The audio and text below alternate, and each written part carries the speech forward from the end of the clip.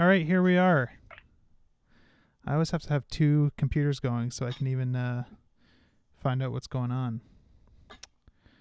So, uh, all right. So, today I'm joined by Yaz, aka Ninja Parade, on Twitter. How are you, Yaz? I am very well, thank you. How are you? I'm doing fantastic. I'm also joined by the one and only David Hemphill. Hi there. How are you, David? I'm excellent. That's good to know. David, it sounds like you're not wearing a shirt.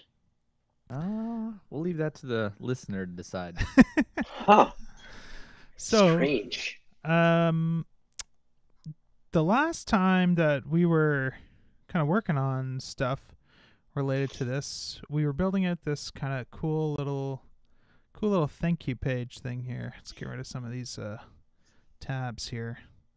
Um, if you go and uh, check out like purchases one, you know, here's someone who bought something and everything seems to like generally work or whatever. So there's a couple things that we could do. I made like a, a list. Um, so one thing was this purchases URL kind of sucks. Like purchases one is supposed to be like a private URL that only the person who bought can see. It seems highly guessable. Um, another thing was a little bit of refactoring that I can demonstrate. Uh, the bigger thing though that maybe would be a fun thing to do is building out um, either webhook logging. So like right now, whenever someone buys something and it makes a webhook back to the server to say that you know a purchase came through, I don't do any logging of the request or the response. So if it fails, like you know it failed, um, it's gracefully handled on my end, but like there's no tracing of that or history, so someone can't really find out what happened. So I'd like to add that. I also wanted to be able to like email um, people whenever a webhook did fail, like email the creator of the product. So that is the uh, the other thing. So I don't know what sounds interesting to you guys. I'll let Yaz share his opinion first. Kind of like the idea of the webhook logging one, but All right, David? yeah, that sounds great. webhook logging it is. So let's take a look at some tests. So if we look at this purchasing products test, uh, purchasing product test. Here's kind of the one that I generally use. Uh, this is the main happy path test. So we verify that a webhook was delivered. And uh, in the case that it fails, um, we don't really do anything related to the webhooks. We just kind of program uh, the webhook dispatcher to fail. So let's think about, I guess, what we would even want to do to kind of start it with a test. So um, I think ultimately, if we want to log all responses, then we need to save those somewhere. Now, what I'm trying to decide is does it make sense to have an assertion here to make sure that we log the delivered webhook? Or does it make more sense to do that inside the webhook dispatcher um, so that since we're replacing it with a fake in this case, it wouldn't actually get saved? Uh, but then update the tests for the webhook dispatcher to have that cause things to be saved, you know? Mm-hmm. So that's kind of what I'm trying to decide. So let's look at some code and see if anything kind of feels like a neat, interesting way to do it so we can think about maybe the best place to test it. This was the weird thing I was thinking about refactoring. Uh, if it succeeds, I do the exact same thing as if it fails. And you can see here, I thought this is kind of weird that this is the same shit. um, but it's important. Like, I can't delete this because that exception might get thrown. It's just like we want to do the same thing uh, regardless, which to me is like kind of a smell. So, one thing I was considering doing here was moving the exception handling into the purchase itself. Um, so that this controller didn't really worry have to worry about exceptions at all anymore. So you know what? I think I want to do that anyways before we get into anything else. So let's just write this or run this test to make sure everything's kind of gravy. And go ahead and look at our purchase class. So a purchase can fulfill itself, of course. Mm-hmm. Suck on that. um, so it uses the webhook dispatcher through a, I believe this might be a real-time facade. Yep.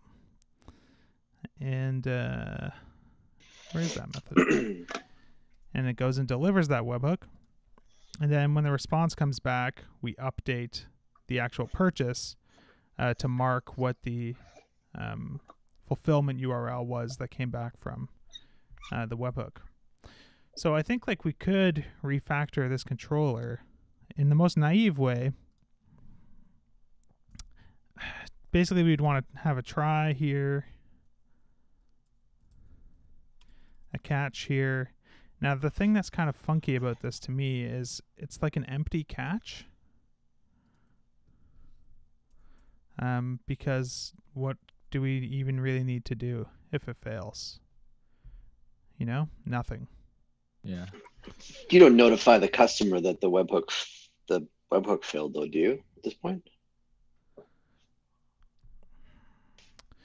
Well, yeah, I mean it's hard to say like I can't think of anything actually useful that you would do here, which is what makes it kind of funky, but I bet if we do this now and run the tests again, they'll still pass. So, let's just kind of get that proved. No. Um oh, probably just a namespace thing. I'm lower volume than my guests. So you guys are loud and I'm not. Let's boost Hmm. this a little bit. Make me like 120% volume. It might be because both David and I have our shirts off. I think that it amplifies the audio. That's true. There's less Might dampening. my chest. Whatever. It's hard to do this audio balancing live between all this crazy software. Um, okay, so we're back to green. So what should we do if the webhook fails? Can I ask a question? Yeah. Because I've I haven't been part of this process the entire time. Um, so I'm assuming this is a successful sale. You hit the webhook for the customer. Yep. so at this point, the there's a- there's sale is error. totally completely done. Like the sa- sale is complete by this point. Um, Yes. so Stripe has been hit and all that stuff is sorted. Now all we're doing is basically saying make the webhook request so we know what um, endpoint to redirect them to. And it's not even a redirect. It's uh, you know what to make this link point to. Mhm. So if that fails, um, it doesn't really matter from the perspective of the controller. You know what I mean? Because we just kind of return the same response anyways, then redirect to a new page for that purchase ID. Uh, it's just a matter of what's shown on this page that they end up getting redirected to. That's going to change. But even that is mostly going to be logic in the template, I think. That's kind of my plan, anyways. I'm just like not going to show this button uh, or this text. You know what I mean? I might Yeah. just show Right. some other thank you, generic thank you message, because I don't want to like make the user think that something went wrong with their purchase necessarily. And I guess you can't really figure out the reason why the webhook failed from their response. Um, I mean, I could try and look, but there's not really anything I could do. Can't it won't be reliable. Um, so I'm just trying to decide like, what do I really want to do if I catch it here? Like, one thing that you could do that feels like kind of a cop out to me, um, that still f- makes it feel like an empty catch essentially, is like fire an event. You know. so it's like, well, um, we tried to fulfill a purchase and it failed. So if that matters to anyone who's listening, you can, you know, react to that which I think is probably something that we will need to do, like um, handling like that's how we're gonna send like the emails and stuff. Could be how you log the the failure too. In your result, you seem like you wanna you could fire an event and just log the result no matter what it is. You know, 200, 400, 500, whatever it comes back. Yeah, but that thing, that like looking at this code, I, th- I feel like maybe belongs in this class because I don't want to um, have to log like the webhook result in two different places in this class when inside the webhook dispatcher. Look at this shit. ZTTP. We got this little unless helper. Just madness. Um, but basically, here, I want to unconditionally log this. You know what I mean? Like here. Right. Here, we'd basically want to say, like, record the webhook response um, so that we have, like, the history of it. And then check if we need to throw an exception for, like, any consumer who was expecting it to pass, but it didn't. Uh, it's still kind of weird because I feel like I'm gonna need to know like what purchase this was for and stuff, and that information is not passed in because these classes that like interact with the outside world that I use from classes that are more like domain specific, like the purchase, I try to make them as ignorant of the app as possible, you know. So I don't really f- love passing in like a purchase instance to this class because all of a sudden it's starting to be like coupled with the app in a Right. weird way. I think you would want to lift it up to the controller level because you're going to do it either way, and it's an app level kind of logging, and that brings it out of the webhook dispatcher. You know, you're just kind of sending the the response or throwing the exception. Yeah, the problem is like the response from the webhook. I don't think bubbles like up quite that far. Because when I Mhm. fulfill the purchase, I don't return like the HTTP response that came back. Like those details never make it up here. Um, but that's okay. So, I mean, maybe what would be interesting though is to is to handle like the situation of sending an email to the person who made the product when like the webhook failed and that gives us like an excuse to like find something to put in this catch I I, kind of I kind of feel like you you need the purchase information on a, on a filled webhook. Like that information, that's that's information you should be logging. Like this purchase, this webhook failed. Mm. Especially especially if it can kind of impact that customer from getting their I like their know. download link or whatever it is. i agree it's just it feel it would feel weird to me to have like so the response comes back here right and this is Yeah. if i'm not mistaken literally just json which Yep. is. is not quite enough in my opinion to log because I don't have the status code, I don't have the headers, um, and I would like to log those. So if I did it here, I'd have to, you know, log the response here, and then here I'd have to like, you know, get the response from the exception and log that. It just feels weird to log it in both places because, like, from the perspective of the log, the log doesn't really care whether the response is a a okay response or a failed response. It's logging them either way. So it seems weird to have to put those pieces of code in different places. You know, it feels like what I want to do in an ideal situation is as soon as this response comes back, um, I guess in this little tap call here, just like log the response unconditionally. You know what I mean? Or you could use Yep. finally up in that purchase. You know, no matter what, just do it finally. I know, but it's weird because in one case it's just a variable, in the other case I have to unwrap it from an exception. Hmm. You know, and even then I still don't have the headers and stuff. So I feel like what if you whole- typed hint it? Sorry, what if I type hinted it? Ah, interesting, interesting. I hear that has a really significant impact. It might make your test pass. I hear. Oh yeah, or I might be able to delete a lot of them. Like, for example, like this test that says what should happen if the webhook fails. If I was to just go and do like, you know, this should be a string. I think I can delete this test, right? Isn't that how it works? It's fucking stupid. All right. Spicy. um, okay, so I think uh, what would be an interesting thing to do is work on the email thing instead of just sitting here doing nothing. So I think everything's going to pass right now. Right? Um, so this fails, which is bizarre, and we don't do anything with it. People should feel uncomfortable with that. I do. Uh, so let's say, okay. Move failed webhook exception handling into the purchase. Okay, commit that. And uh yeah, okay. So,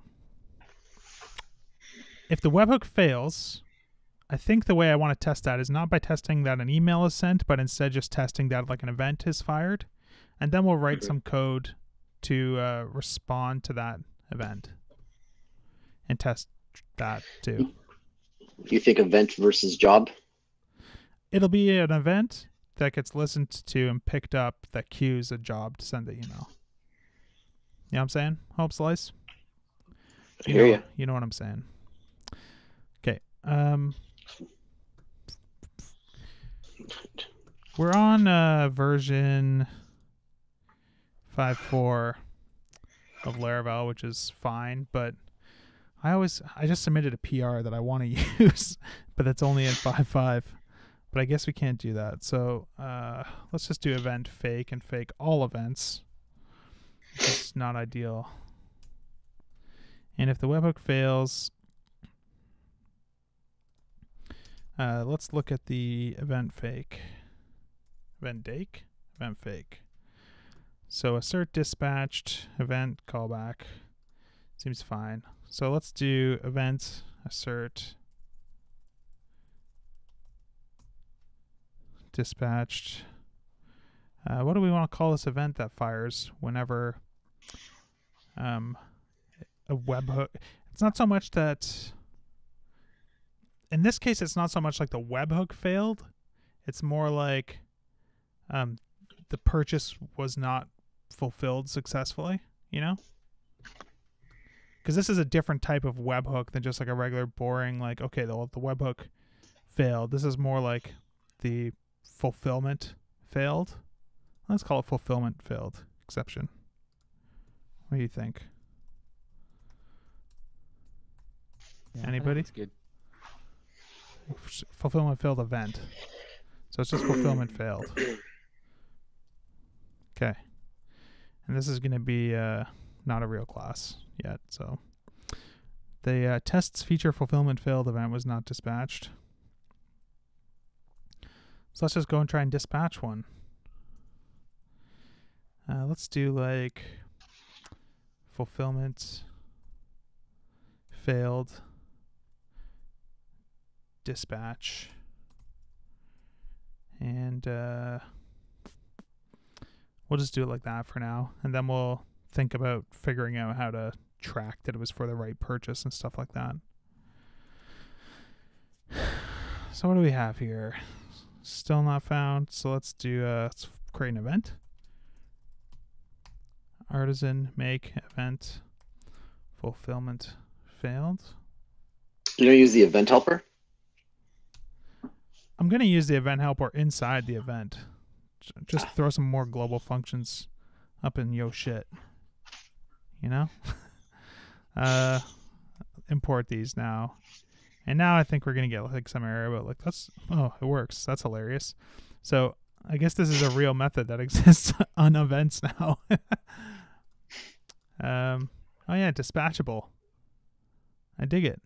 Seems pretty Nice. dispatchable this kind of broadcasting stuff kind of makes me uncomfortable in some ways. you kill all that. Do I have to remove like a certain trait or anything like interacts with sockets? Just yeah, you can remove that in the should broadcast It does not interact with sockets. And the private channel and all that stuff can be gone too. Okay, so let's yeah, this Yeah. feels like more like what I want. Okay, let's run that test again. Okay. Fulfillment failed. So now I want to make sure that um we know like what purchase it was for. So let's return event purchase is purchase use purchase. So we already have the purchase that actually succeeded, like the purchase itself succeeded, but the fulfillment failed. So this will just let us know that the event that was thrown or that was fired, sorry, has a reference to the correct purchase, which I think seems important.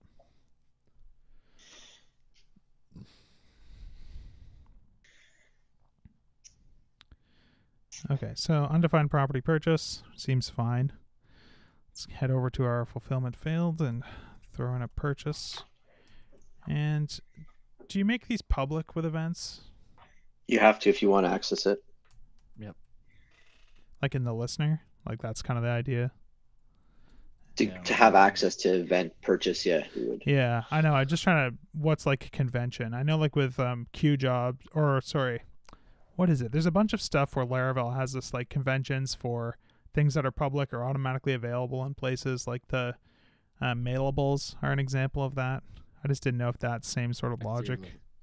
Serializing and having it available in the handle method. Yeah. That'd be public.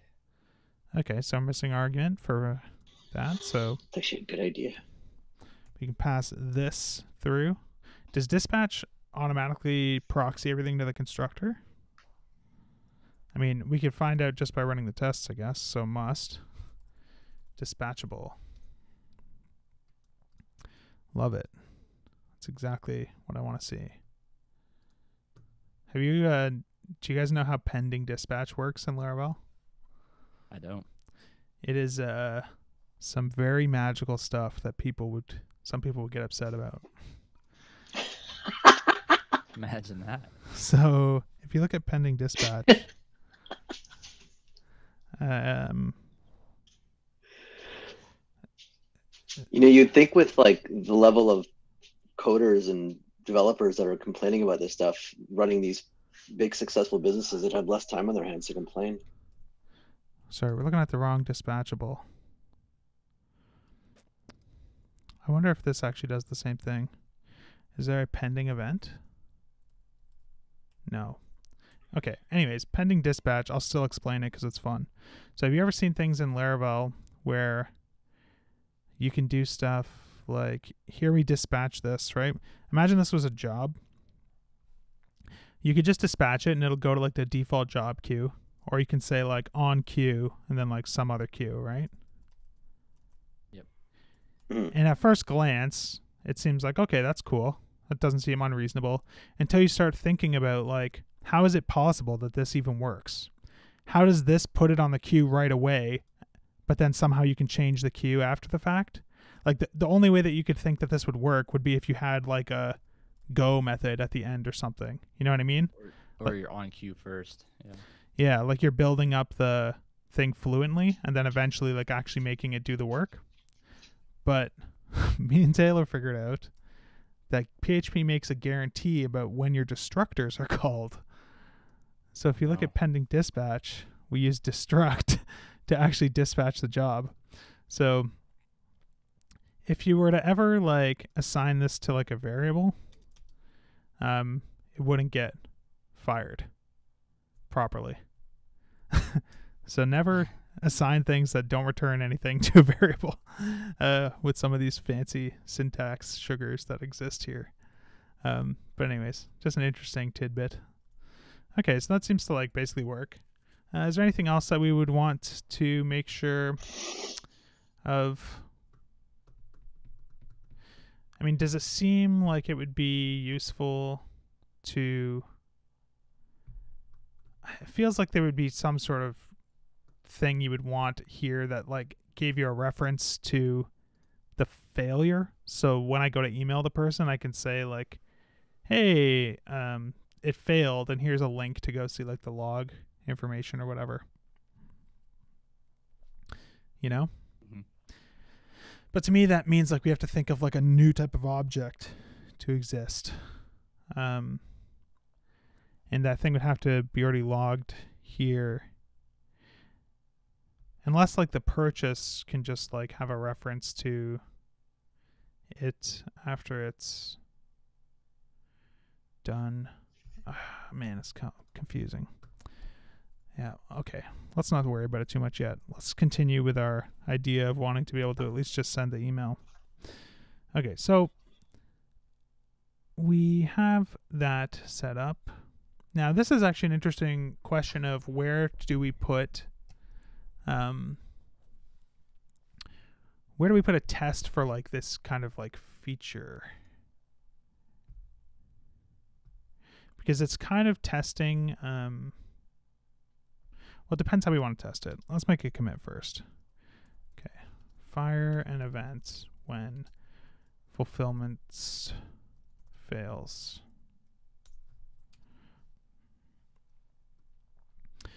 So one option is to create like a class that handles failed fulfillments, or like a fulfillment failed listener or whatever, Mm-hmm. and just unit test that class, and um, then the the tricky thing is always like, you know how you have to do. Uh, where do you do like your event wiring up here? This provider. Yeah. So you can like bind some event and then the listeners that should be listening to it, right?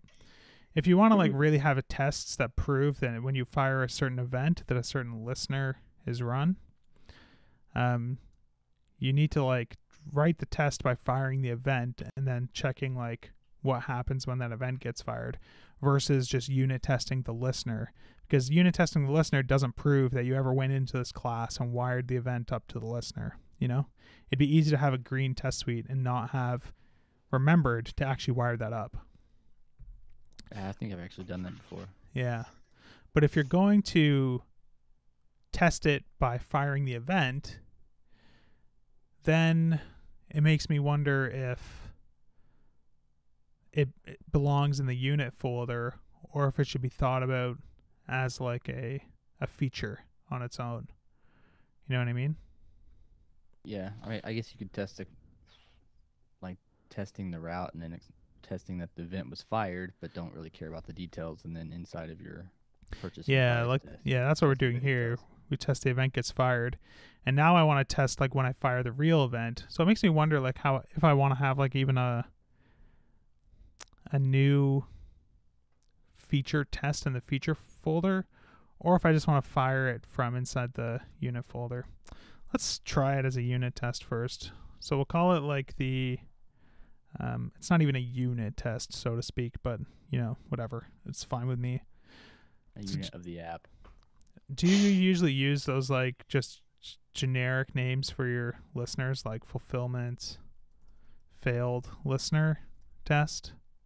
Yep, it's usually like team test, user test, purchase. It's just like this class name kind of sucks to me. Like, I always hated like the coupling between like the listener name and the event name. To me, like that feels like it's sort of defeating one of the goals of an event-driven system, where it's not like this listener exists because of that event necessarily. It's like the thing that this class does isn't listen to failed fulfillments.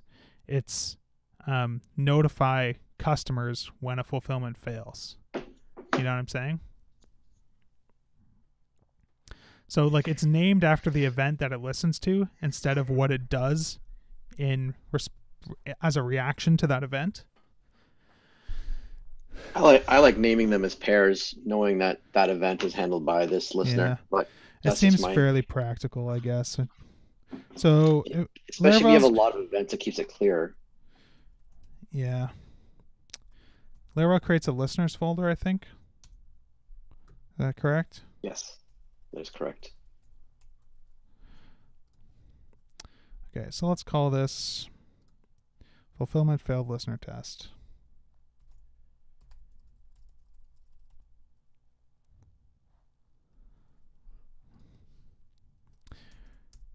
Comments, what the hell? Who needs them? Okay, so test um the I I was struggling to come up with a kind of good terminology to describe the person who's like the creator of the product that's for sale.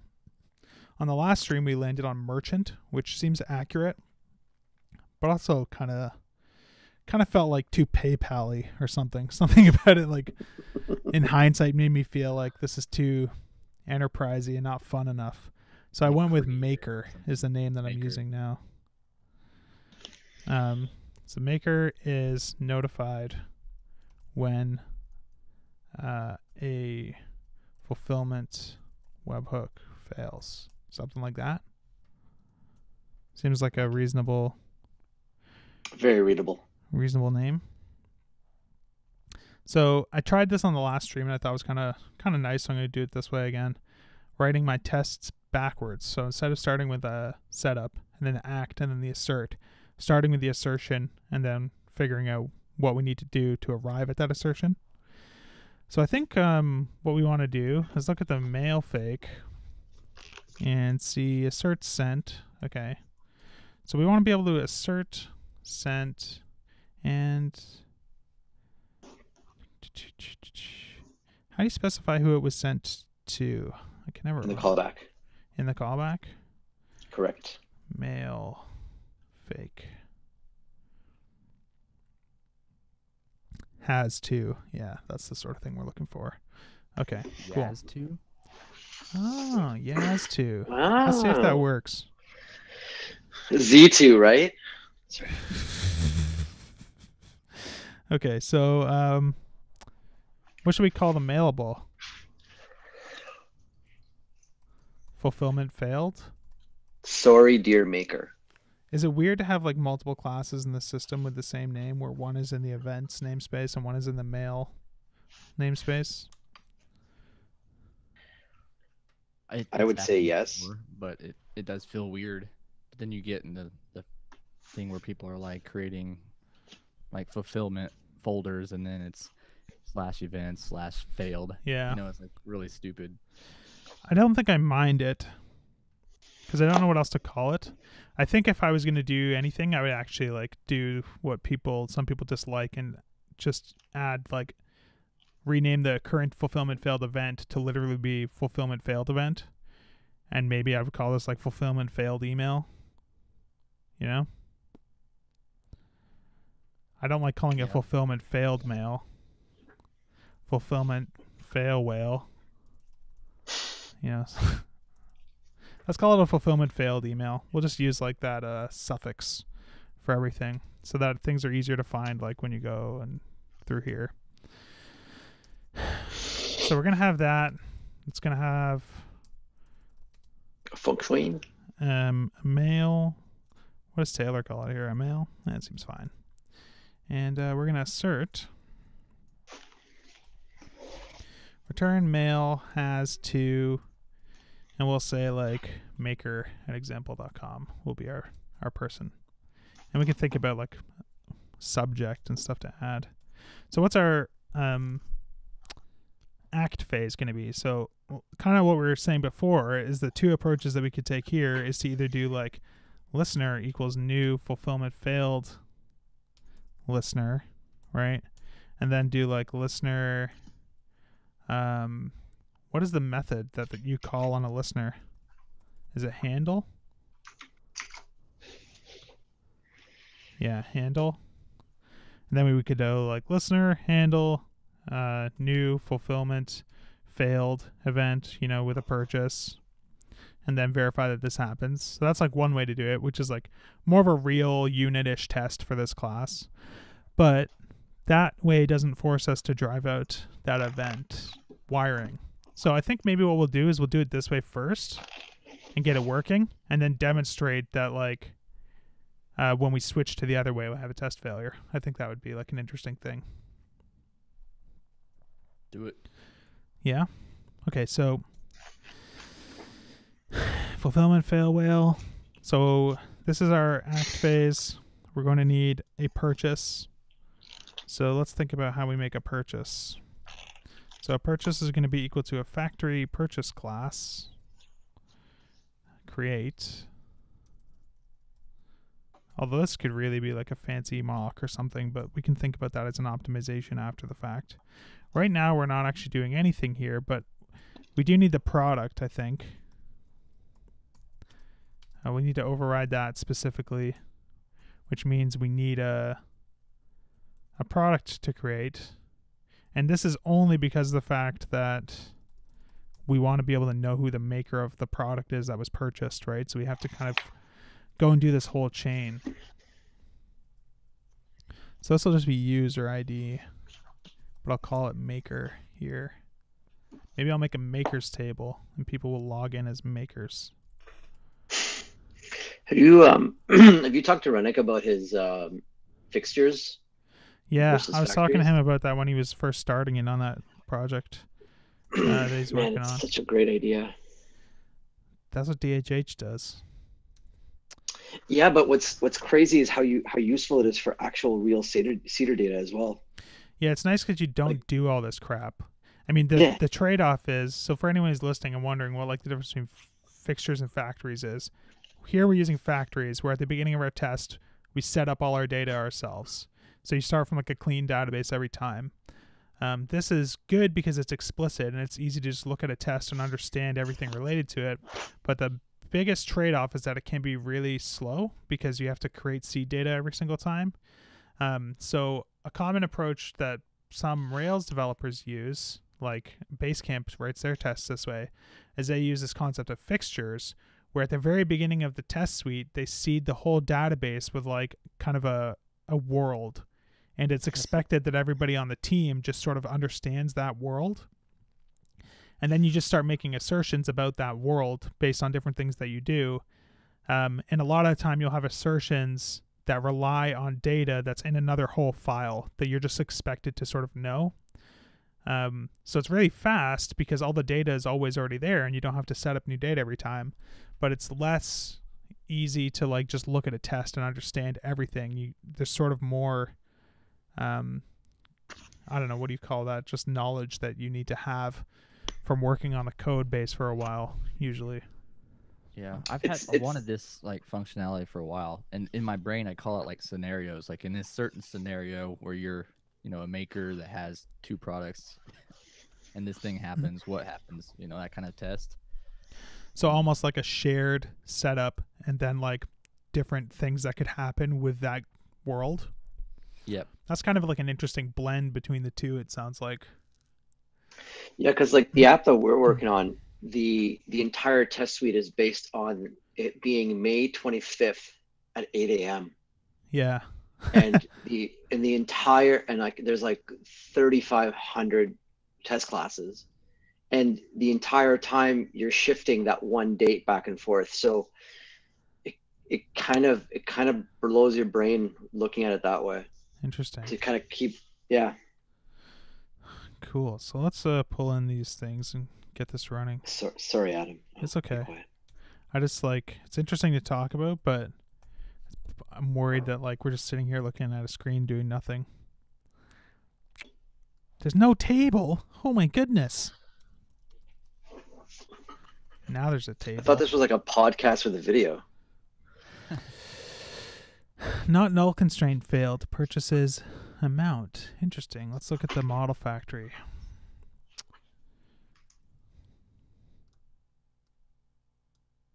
Oh, I need to make a publishable product. I always forget about this.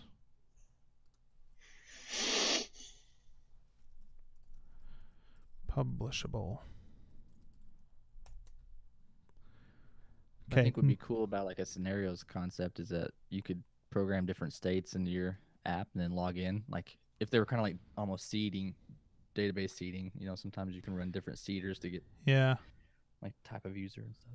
you could do like something from the command line that just creates a certain kind of predefined state. Yeah, like a namespace seeding scenario stuff. Okay. Ugh. Hmm. I'm worried this is going to do more work for us than I want it to. Like it's going to hurt the point that I wanted to make before. So let me just check something here. No, it didn't. Okay. Good. There's no fulfillment failed listener. We must import that. Class unit fulfillment failed. So we'll need that event. Uh, no mail, so import the mail facade. Then make sure that uh, we fake all our mail. Fake.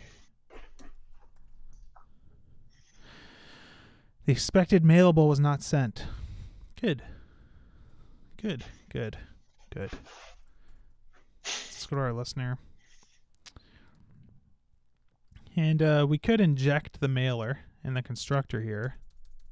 But why would we do that? We could use a facade. We could type hint the event here, but why would we do that? No reason. Yeah, I want to write more It sounds- tests. Seems dangerous, but Okay, so let's just do like mail. Um, man, I can never remember the syntax for mailables off the top of my head. It still feels too new. Uh, mail. Generating mailables. Where's sending mail? Let's go to the top. Sending mail. So we do mail to, then send the new mailable. What's so funny, bro?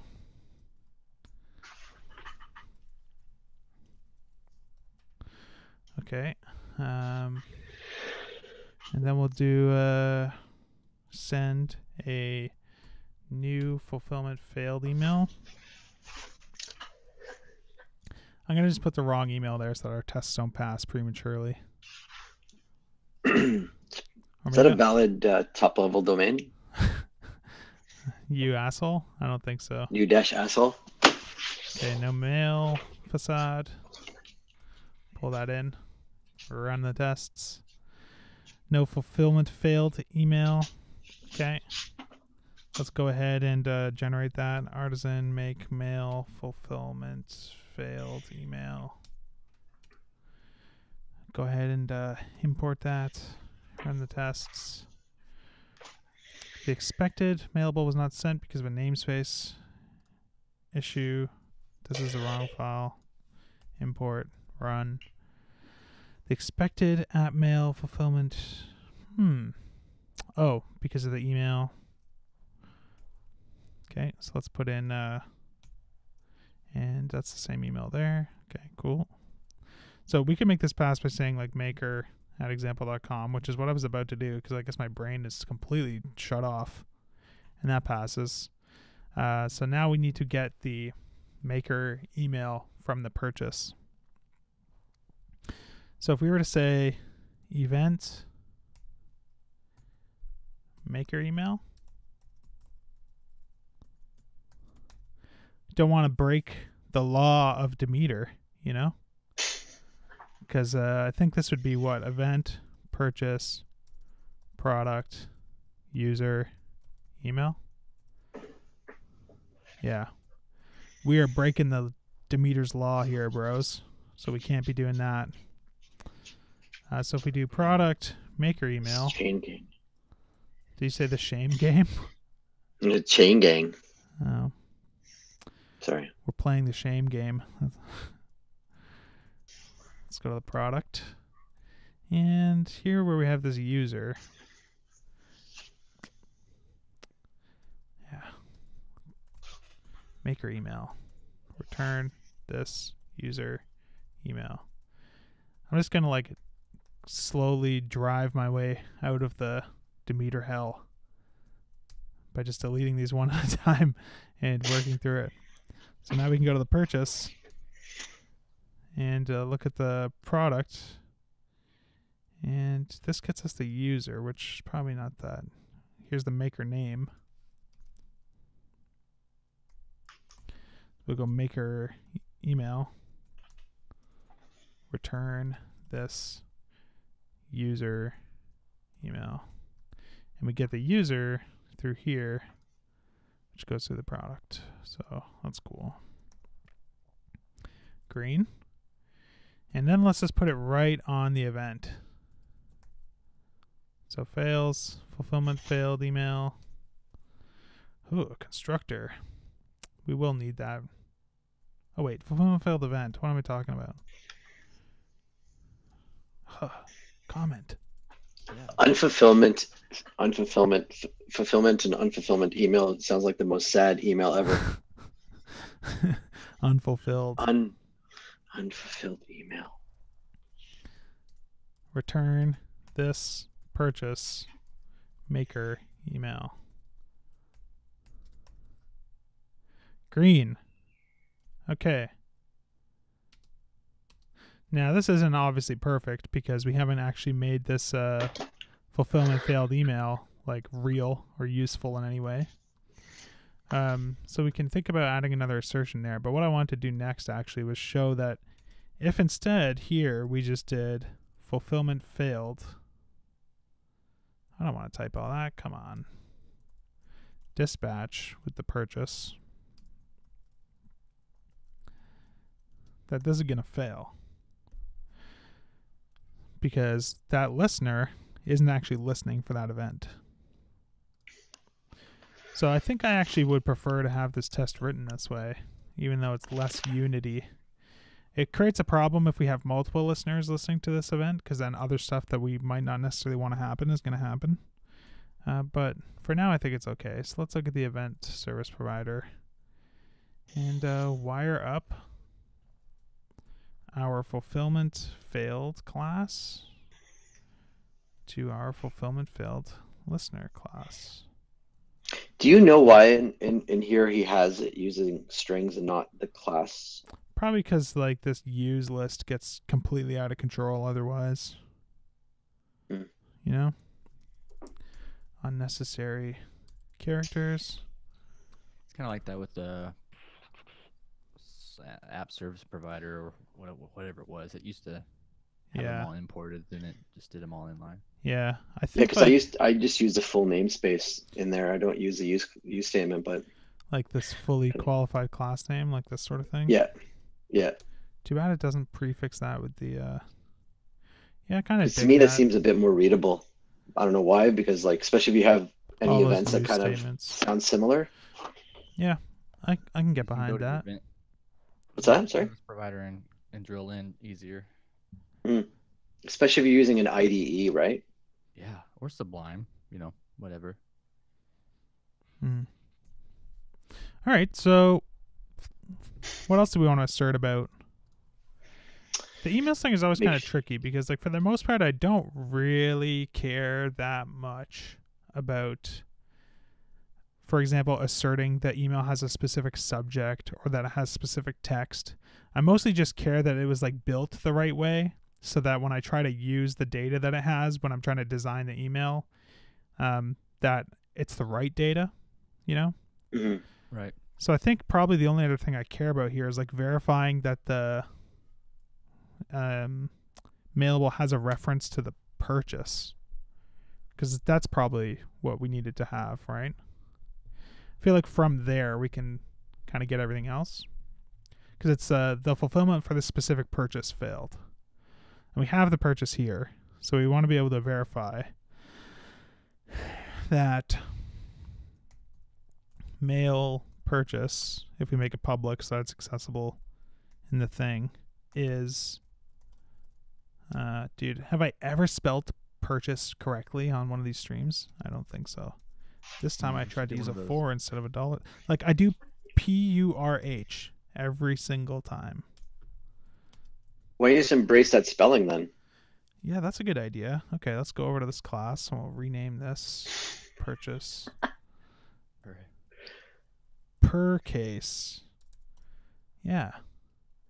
You know the scary thing is there's probably lots of apps out there that just have typos consistently. 'Cause Oh, you mean like mine? using autocomplete and stuff. But not even typos that like you catch and fix. It's like I typoed it once and then I just used autocomplete for the rest of the time that I built the app. That's why you shouldn't use PHP Storm. Yeah, you have to use Vim. Yep. Okay, so no uh thing there. so this is gonna take a purchase. I wish this um this uh, Sublime PHP companion thing always adds properties above the traits. Sort of gruesome. Get out of here. Come on. Get out of here. Get out of here.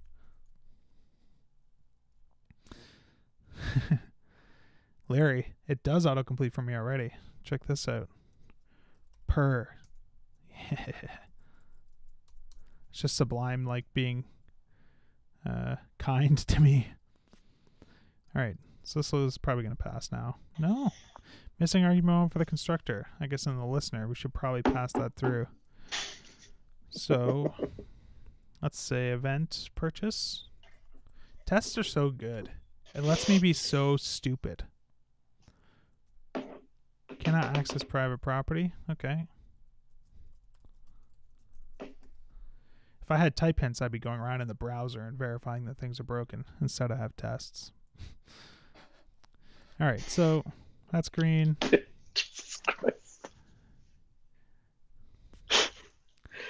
Beautiful. All right, so that's all good. Um, I'm sort of wondering like if there's a way to like make this less lame. Because it kind of sucks to have uh have to create like all t- three of these things just because like we need to purchase made by like a specific person. So like one solution to this, right, is to say purchase equals mockery um mock purchase holy fuck that was an interesting What sound was that?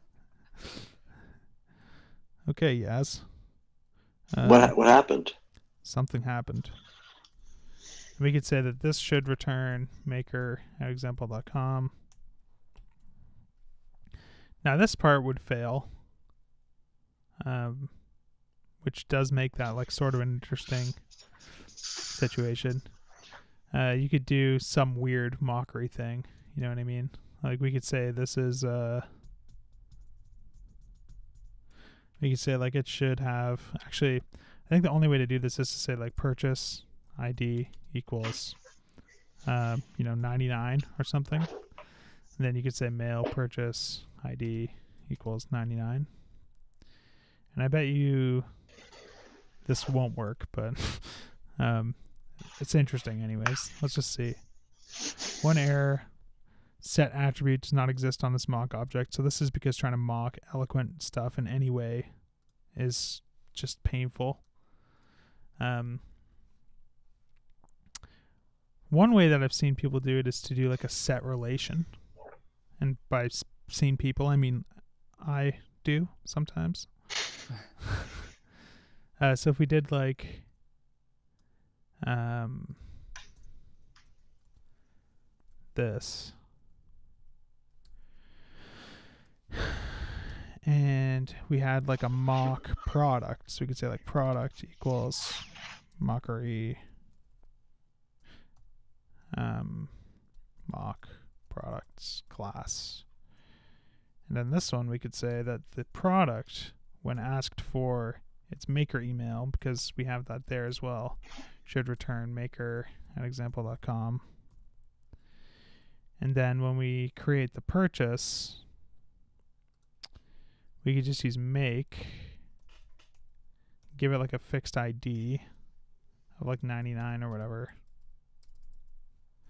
And then we could say purchase, set relation, product, product. And this might also fail, but it's kind of interesting. Let's see if we can make it pass, it'd be kind of interesting. Get attribute does not exist on this mock object. So we still have that weird thing where because it's trying to um Use the attribute accessor. yeah, like it's almost that's what I was saying. better honestly to do this. Like that might make it work. Undefined property mockery user purchase 17 purchase 17